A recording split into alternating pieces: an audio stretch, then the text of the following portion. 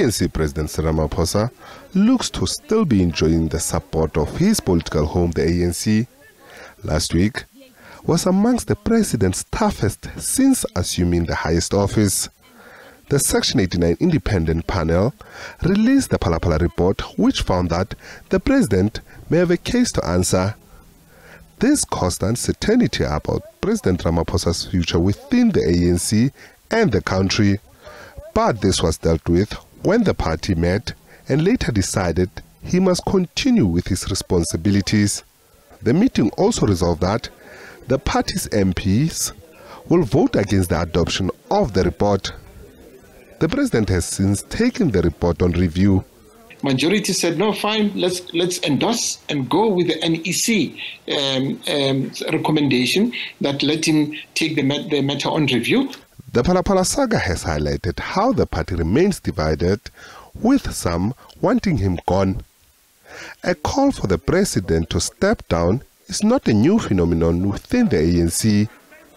After firing the then Finance Minister Pravin Gordhan and his deputy Mcebisi Jonas, his predecessor, former President Jacob Zuma, found himself out in the cold with his comrades, paying for his blood.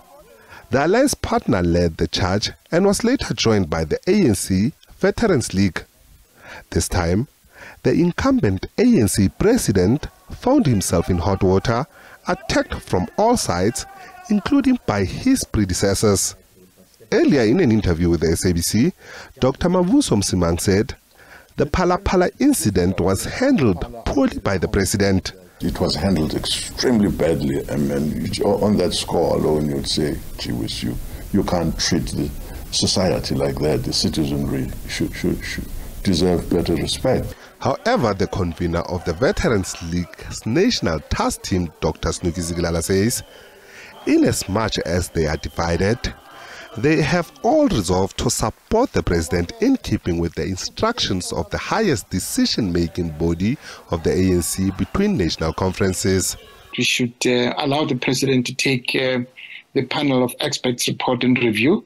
And um, also that, of course, parliamentarians should also not support the report. The Section 89 independent panel's report will come before Parliament next Tuesday with the ANC having instructed its MPs to vote against its adoption, scampering any chance of a possible impeachment debate. This will also pave the way for President Ramaphosa to go to the ANC's 55th National Conference next Friday unhindered. The first day of the four day gathering will be dictated to the election of the president and other top five officials. Ntlantla Kgatlhane SABC News, Johannesburg.